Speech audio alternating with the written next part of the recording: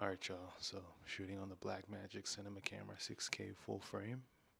I created this scene tonight where I start off in a silhouette where you cannot necessarily see me and then I enter into this revealing pool of light. I consider this lighting very stylized, very unnaturalistic, so I would use it for something like a fantasy. And if I were to do something like